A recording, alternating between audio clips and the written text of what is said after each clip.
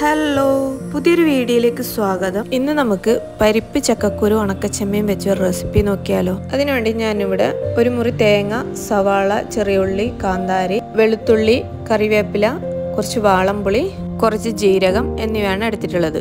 ഇനി ഒരു കുക്കറിൽ ചക്കക്കുരു വേവാൻ ആവശ്യമായ വെള്ളം ഒഴിച്ച് വേവിക്കാൻ വെക്കാം. ആവശ്യത്തിന് ഉപ്പും കൂടി ചേർത്ത് കൊടുക്കാം. ഇനി ബാക്കിയുള്ള ഇൻഗ്രീഡിയൻസ് ഒക്കെ ഒന്ന് അരച്ചെടുക്കാം.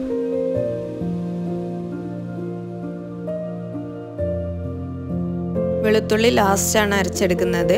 ആദ്യം തേങ്ങയൊക്കെ അരച്ചതിന് ശേഷം വെളുത്തുള്ളി അരക്കാം. ഇതിന്റെ കൂടെ കുറച്ച് വറ്റൽമുളകും മല്ലിയും ചേർക്കുന്നുണ്ട്. കുറച്ച് മഞ്ഞൾപ്പൊടി ഇട്ട് കൊടുക്കുന്നുണ്ട്. ലാസ്റ്റ് വെളുത്തുള്ളിയും ചേർത്ത് അരച്ചെടുക്കുന്നുണ്ട്. ഒരുപാട് അരയ്ക്കരുത്.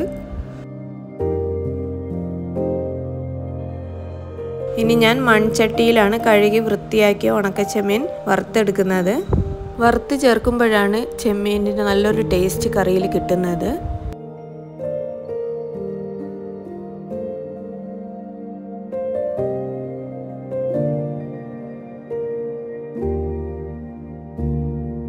ചക്കക്കുരു ഇവിടെ വെന്ത് റെഡി ആയിട്ടുണ്ട്. ഇനി ഇതിലേക്ക് പരിപ്പിട്ട് കൊടുക്കാം.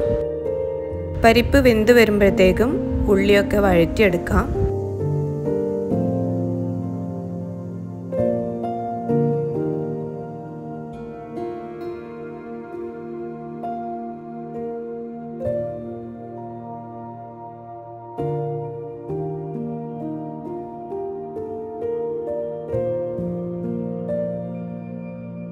ഇനി ഇതിലേക്ക് അരച്ചു വെച്ചിരിക്കുന്ന അരപ്പൊഴിച്ച് കൊടുക്കുന്നുണ്ട്.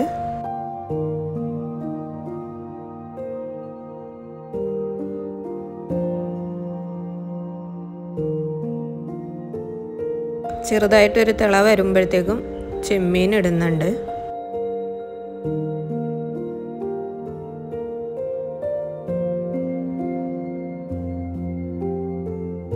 ഇനി ഇതിലേക്ക് കുറച്ച് വാളംപുളിയാണ് പിഴിഞ്ഞൊഴിക്കുന്നത്.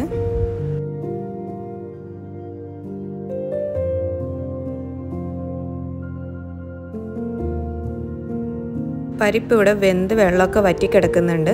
ഇനി ഇതിനെ അരപ്പിലേക്ക് ചേർത്ത് കൊടുക്കാം.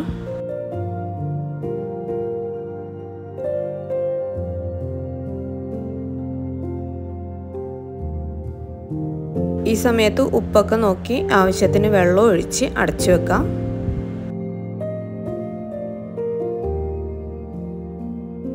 ഉണക്കച്ചെമ്മീൻ പരിപ്പ് ചക്കക്കുരു ഇവിടെ റെഡി ആയിട്ടുണ്ട്. ഫ്ലെയിം ഓഫ് ചെയ്തതിന് ശേഷം വെളിച്ചെണ്ണ ഒഴിച്ചു കൊടുക്കാം.